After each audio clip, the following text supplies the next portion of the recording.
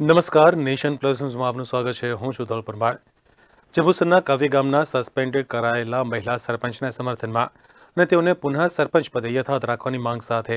હિન્દુ સમાજ અને ગ્રામજનો દ્વારા ધારાસભ્ય સાંસદ તથા જિલ્લા ભાજપ પ્રમુખને રજૂઆત કરવા પહોંચ્યા હતા જંબુસર તાલુકાના કાવી ગામના મહિલા સરપંચ મીનાજબેન મુનશીને તાજેતરમાં જિલ્લા વિકાસ અધિકારી દ્વારા હોદ્દાના દુરુપયોગ બદલ સસ્પેન્ડ કરવામાં આવ્યા હતા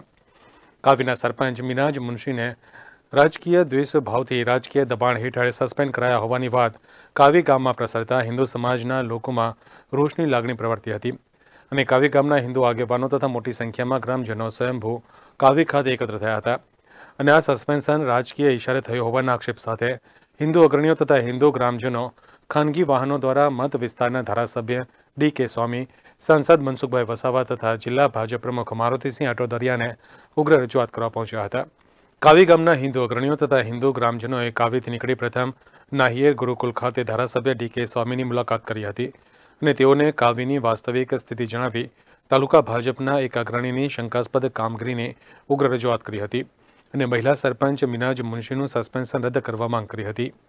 મિનહાજબેન જે સસ્પેન્ડ થયેલા છે એ કોઈ બી હિસાબે અમારે પાછું જોવે આ રાજકીય હિસાબે થયેલું છે કોઈ બી હિસાબે આ પાછું ખેંચાય સસ્પેન્સ એવું અમે માગીએ છીએ વિનાશબેન કોણ છે સરપંચ કાવ્યા મિનહાજબેન મુનશી કાવ્યના સરપંચ છે મહિલા સરપંચ મિનાજબેન મુનશીને પુનઃ સરપંચ પદે યથાવત રાખવામાં નહીં આવે તો ગ્રામજનો આગામી લોકસભાની ચૂંટણીનો બહિષ્કાર કરે છે તેમ જણાવી ભરૂચ જવા રવાના થયા હતા હું કાવી ગામનો વતની છું અમારા સરપંચ જેમને રાજકીય રીતે દબાણ કરી અને સસ્પેન્ડ કર્યા છે. અમારા ગામનો આજ સુધી કોઈ જાતનો વિકાસ નહોતો થયો. હવે વિકાસ થયો છે તો આ રીતના રાજકીય દબાણથી અમારા જે મીનાજબેન સરપંચ છે, એમને સસ્પેન્ડ કર્યા છે. હવે અમારા ગામની એક જ રજૂઆત છે કે હવે અમારે જોઈએ તો મીનાજબેન સરપંચ તરીકે જ જોઈએ. બીજું કોઈ ના ચાલે. અમારે કાવ્યનો વિકાસ કરવો છે. Sandeep Dixit, nation plus news, Jambusar. સમાચારોના સતત અપડેટ માટે